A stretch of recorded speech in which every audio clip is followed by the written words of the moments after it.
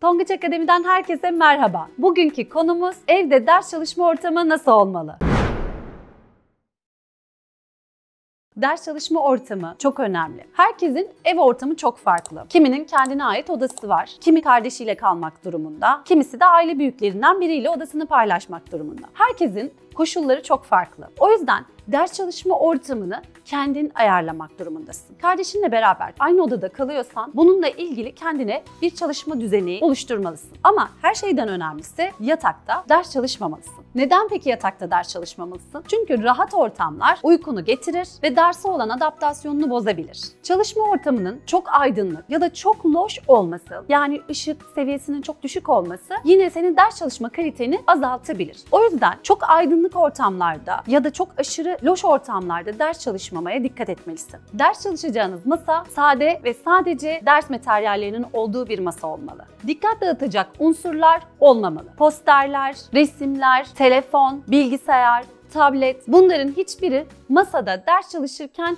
yanında olmamalı. Ders çalışırken müzik dinlemek kimi öğrenciler için adaptasyonunu arttırır, kiminin de dikkatini dağıtır. Önemli olan sen müzik dinlerken dikkatin dağılıyor mu? Benim önerim ders çalışırken sadece ders çalışma. Yani müzik dinlemen için molalarda kendine bunu ödül olarak sunabilirsin. Onun dışında sadece ders çalışmalısın.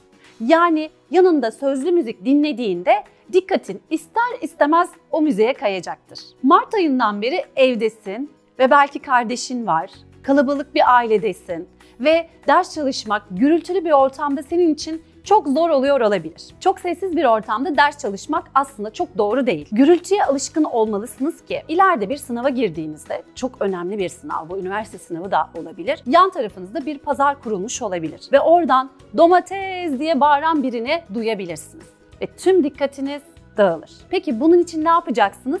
Gürültülü ortam olsa da olmasa da siz dersinize konsantre olmaya çalışacaksınız. Dikkatinizi sadece derse vereceksiniz.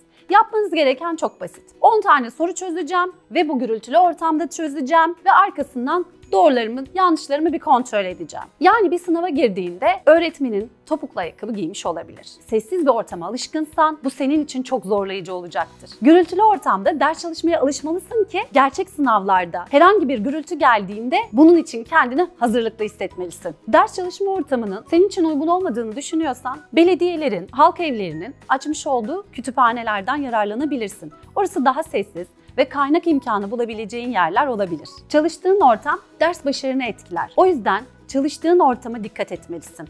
Özen göstermelisin ki başarı seninle olsun. Bugün seninle Evde ders çalışma ortamı nasıl hazırlanır bunu konuştuk. Peki senin evde ders çalışma ortamı nasıl? Sen nasıl düzenleme yapıyorsun? Bu konudaki fikirlerini yorumlar kısmında bizimle paylaşırsan seviniriz.